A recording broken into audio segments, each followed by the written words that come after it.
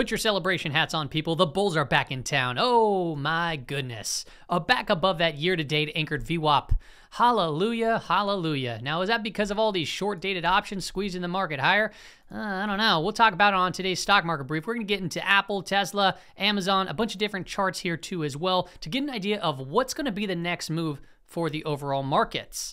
We're going to first look at what can potentially shake the markets up. Well, first and foremost, we got to look at our economic calendar. So, what kind of econo drops are coming soon? Well, the red ones right here are the major impacts to the markets, which are rated by Trading Economics as three stars. Everything else on here is a two star. What do we got? We got S&P Global Composite PMI Flash, manufacturing. We got GDP coming out. We got core PCE. So these are things to be aware of that when the time comes, right? These are Pacific Standard Time, just so you know. Um, these are like so 5:30 a.m. is an hour before the market opens for Pacific Standard Time. I know people use Eastern Standard Time, but whatever. You know, I'm on the Pacific. I'm on the Pacific side, so it is what it is. Okay, it is what it is. So understand and pull up this calendar and be aware when these hit the tape, they can obviously bring in more volatility into the markets. So not crazy amount of stuff going on next week as far as macro data drops, but we do have a lot of anticipated earnings.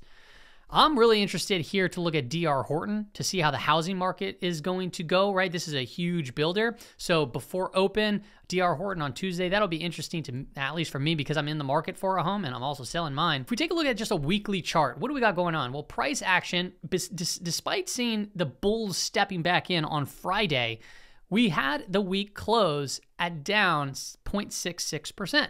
Okay, now the NASDAQ finished up, right? So tech stock, growth stocks are really seeing a bounce, and we'll talk about that later. But I want to pay attention here to a couple moving averages. Uh, uh, first and foremost, the 50 period weekly moving average. You can see here it's been holding as resistance, holding as resistance, and we're butting our head up somewhat close to it. So in order to feel really more confident, we want to see price get above that. We still have a series of lower highs and lower lows, okay? As it stands right now, we are putting in a higher low. So in order to get a little bit more bullish, we would want to see price take out right around that 4100 4200 area. Now this is a chart that i shared not too long ago about the year-to-date anchored VWAP. We said yes or on the prior video if price closes above it that's more bullish. Well price got above it. It definitely closed above it. But if you were paying attention when we got above that high that offered a great opportunity for a push higher in the markets. Now i also stated that this right here is an evening star reversal type pattern and we had follow through this day. And it wouldn't really you know this is still a valid uh, reversal pattern up until the point where it takes out this high. So I would say that it's still still possible to see more downside action. To be more bullish here, you'd want to see that obviously taken out. I would like to see it come up and consolidate and then break through. That would be a little bit more stronger, but we don't always get what we want. Now, if we take a look at the S&P 500 on the daily time frame, zoomed out a little bit more, you can see the overall trend a little bit clearer that we pointed out on the weekly time frame, right? A series of lower highs and series of lower lows there. You can see this right here was a a higher low, and this is a higher low. So that's positive, but we still have a high and a lower high. So really, we'd want to see price take out here once again and price take out here. That would mean that we're getting above this downsloping trend line that everybody is watching and above that 200 day moving average, which by the way, we'd have to hold that for a while because it's still declining. Prior to this episode, we also discussed when price was coming back up, it seemed more likely for price to come right back down to 3,900. And the reason why is because that has been acting as a complete magnet over and over and over again. And we were right. It did come right back into this area and we started to bounce it from it. So there's a couple areas that I'm watching 3,900 to the downside. So if we start breaking down there, we can see more sell side. And if we continue this uh, push up higher, um, I think that 4,200 is a, you know, uh, uh, possible. It's very possible, especially if we start closing above this previous high. Now, the weekly expected moves will post in a screenshot version at the end of this video, but as you can see here, it's just below 4050 and it's right around 3900, but I'll get the exact numbers momentarily. If we take a look at the 15 minute time frame, we did get above that year to date anchored VWAP, which we already discussed. It's above a five day moving average, but the five day moving average is still declining at this moment. Okay, as far as the expected moves go, it's 403.10 to the upside and then 388.66 to the downside. Now, if you're like, what's an expected move? This is making no sense to me. The expected moves um, are based off of the options market. It's forward looking risk, right? It's implied volatility, meaning what is the volatility in the future versus historic volatility, um, you know, what has already taken place in the past. So the market is able to price this in and it gives us a range at which we think that the market's going to be. And if you think of this as a bell curve, right, one standard deviation, boom, boom, is within this range. And that means 68% of the time, price closes in within here. Now, if you remember last week, it started here, okay, and then we saw some massive sell side. This right here, basically the price broke down from the weekly expected move, came right back into it, and then it started moving back in. So 68% of the time it closes back in it, and the S&P 500 did just that last week. So there is a 68% probability once again that price closes this next week between 403 and 388.66. So if price gets outside of it, it creates opportunities where you can say, hey, price is really far down or price is far up. I think that price, I can take a stab for it to pull back down into here. Okay, it's just based off probabilities there. And by the way, yes, there are such thing as two standard deviation moves. So one standard deviation, two standard deviations. There's even three standard deviations. But the S&P 500, almost near 80% of the time, finishes within this range. I know it's 68% of the time, uh, but uh, the S&P 500 um, is a very liquid product, and it has been um, significantly more accurate. Now, as I look at this chart, right, we saw a strong move. We've seen strong moves. They get faded. We've seen strong moves to the downside. They get faded. We've seen strong moves to the downside, get faded. Strong move, strong move, right? These very volatile type moves. So if I put in the RSI, I want to show you here that we are in that overextended territory. And when we get overextended, you know, prior times, the price action kind of pulls back and then oscillates back down to oversold conditions, right? Last week we discussed that, hey, it would have been nice to see this price come a, break this low and then have a positive divergence. That would have been nice. But we didn't get that, but we did cross above it and we started moving higher. Okay. So as it stands now, you want price to, like if it pulls back, right? RSI comes back in, you'd want to see price. That would be nice, right? Price to pull back and then consolidate under this this prior high right here and then eventually break out. If it does that, I would say the target would be right up to the upper weekly expected move and even right here at this prior swing high. Okay, I don't like I don't like getting in right at these like overextended territories. Okay, Be- it doesn't mean that it can't gap up and go still. Right, overextended could stay overextended for a while. However, I personally I personally like things like you know to set up something like that. Oh, it pulls back, scares some people out. Oh, it puts in a higher low, and then all of a sudden it consolidates, and boom, we see a big nice pop. That's very similar to what happened actually right here in this little tight consolidation before seeing a break up higher. Now, if we take a look at year-to-date performance at the 11 sectors that actually make up the S&P 500. Consumer discretionary, sorry, con- communication services is now up a whopping 10.65%. That's interesting to me. XLY is consumer discretionary. Now, we're heading into a recession. At least, you know, that's my belief, my opinion that we're heading into a recession. There's many different indicators and many things that lead me to believe that, right? That we're going to have a recession in the very near future. But uh, I find it interesting that consumer discretionary here is doing really well, and consumer, you know, communication services is more cyclical. However, I want to take a look at both of these sectors and then get into the year-to-date performance of these sectors. Because if we're moving into a recession, typically, typically you have more of safety type trades going on, risk off behavior, but we're not seeing that here at the early start of 2023. So I'm going to try my best to explain why that may be and how we can position ourselves. Because as it stands right now, things are bullish, so you got to remain somewhat bullish as far as the tape goes. Um, if you're in the Patreon group, you've probably seen me post a whole heck of a lot of bullish setups. Now, if we go on to this page right here, I'm going to look at first communication services. So, what makes up the XLC? Well, the XLC is made up of these top 10 holdings, and they hold a lot of weight. So, I'm just going to look at the top three. Oh, well, the top right here is just Google, right? Two different tickers, GOOGL and GOOG, and then Meta. All right, this makes up for, you know, over 30% of the XLC. So, if I look at Meta, oh, wow, okay, well, Meta has been from 380, so basically in 2022, and it hit a low right before 2023. And what we see here is prices just bouncing. It's still below a declining 200 day moving average. Interesting. Okay, so yeah, it's it, to me when I look at this type of stuff and I see, oh, okay, people coming into communication services, we're getting all we're seeing right now is a bounce in an overall downtrend.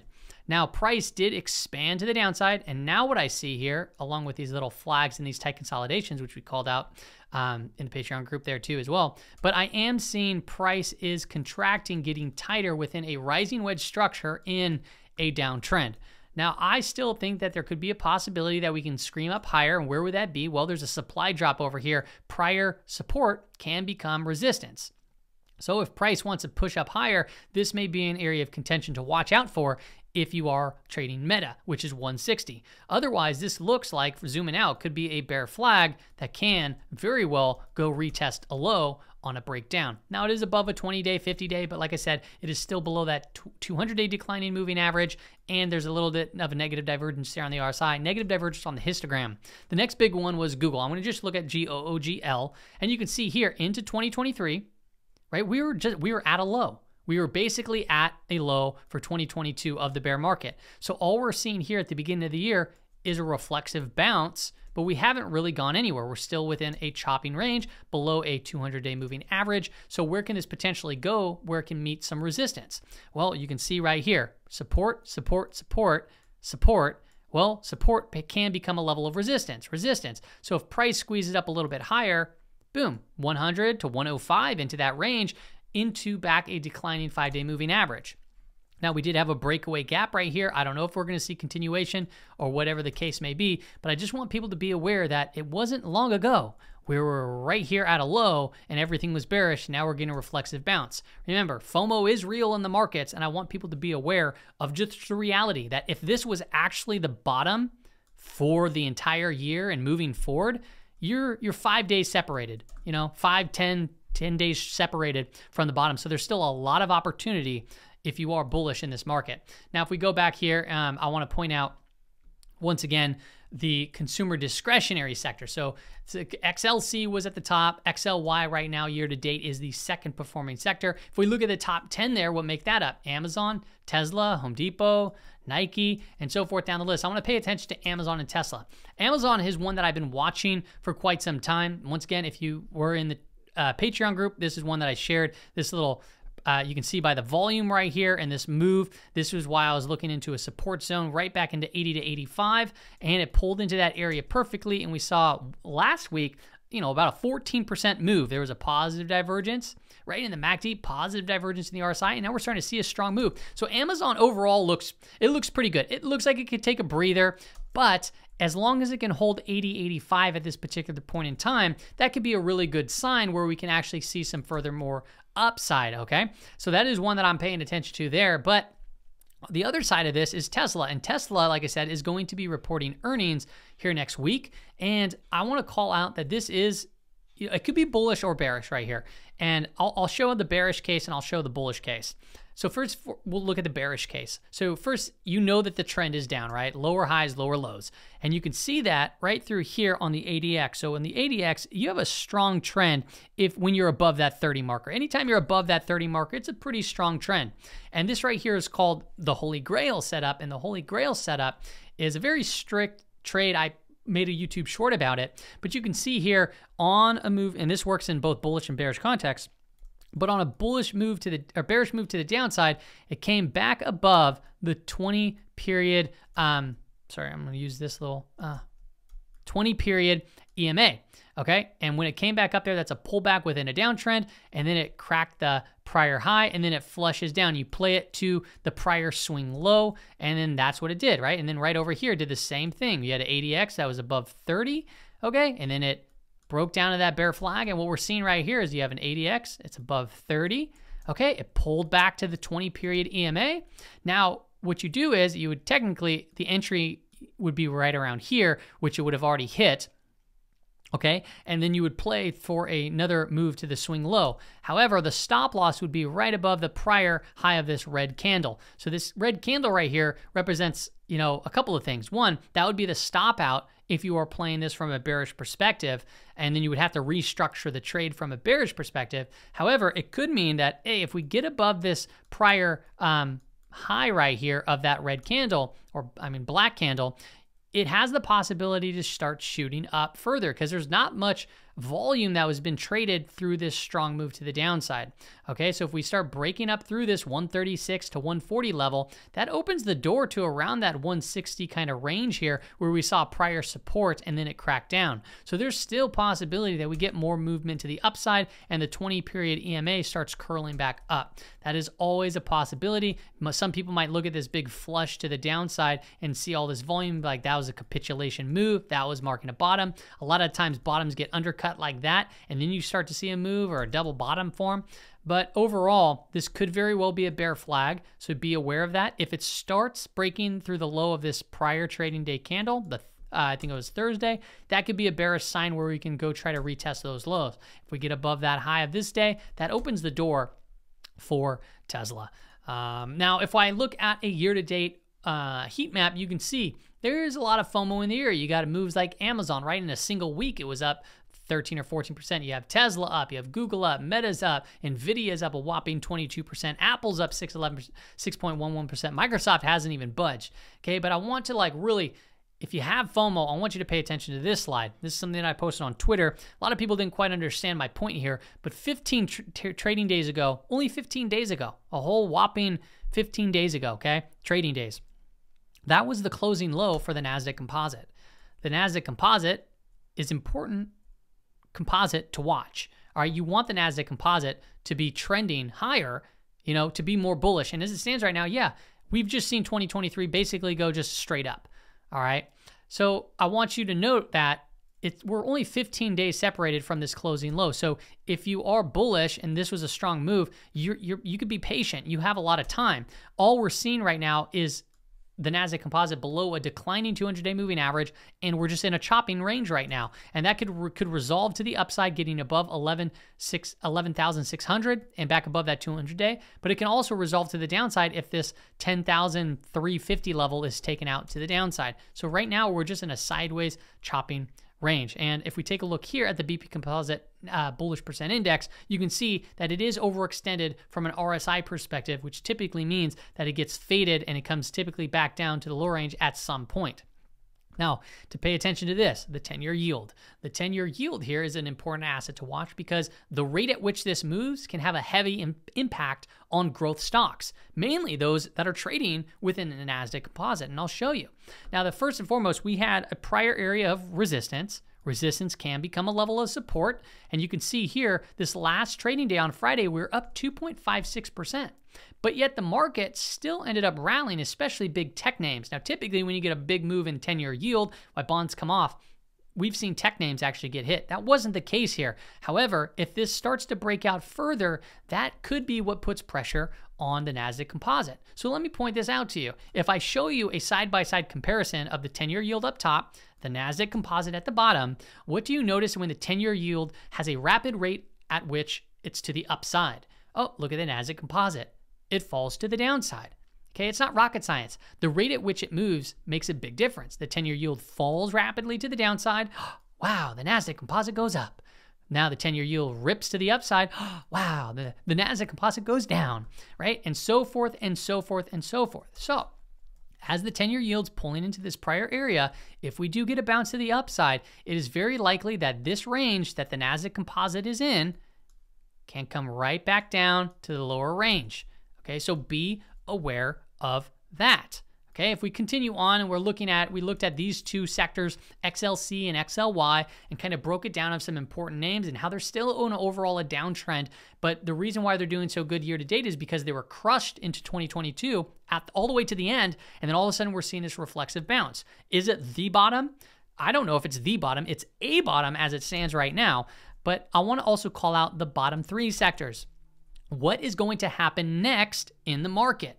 And I'm paying very close attention to healthcare, utilities, and consumer staples because, from a macro standpoint, we still haven't had anything really change. It still feels like it could be a risk off type behavior. But I'm going to tell specifically what it is that I'm looking for in order to see these actually start to move up. Let me fix that. Um, there we go.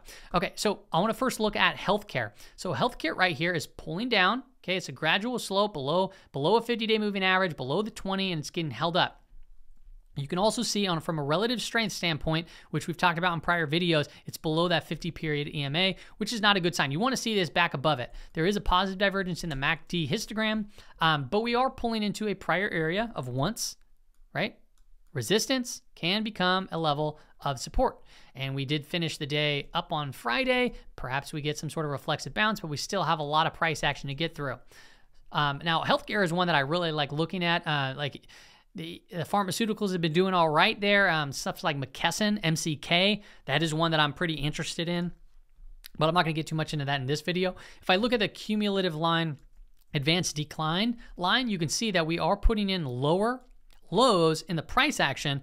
However, the cumulative line is actually moving higher. So it's telling me that the advances, there's more advances than there are declines, which tells me that's a positive divergence. So to see healthcare maybe take off to the upside is a possibility here. So that's one on my radar. Okay, consumer staples, it cracked through this prior area of support right? So now we did see somewhat of a, a nice uh, bounce, uh, you know, 0.78%. Woohoo. Um, this resistance, right? Prior resistance was support and it got broken down. So you'd want to see it reclaimed here. More, more importantly, though, I want to look at this chart.